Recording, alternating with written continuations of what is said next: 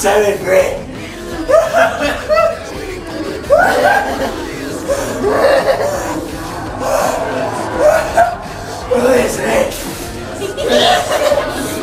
Seventh grade.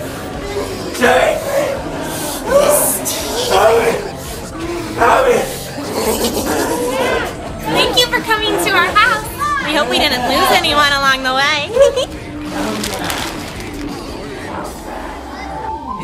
this town we call.